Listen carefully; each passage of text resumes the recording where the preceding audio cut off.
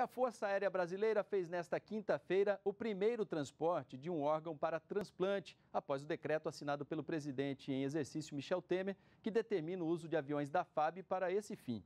A pedido da Central Nacional de Transplantes, a equipe da Força Aérea levou o fígado de um doador de 25 anos de Salvador para ser transplantado em um paciente em Recife. O avião Bandeirante, que vemos nesta foto, saiu da capital baiana às 9 da noite e chegou a Recife às 11 horas e 35 minutos de ontem à noite. As informações do paciente não foram divulgadas.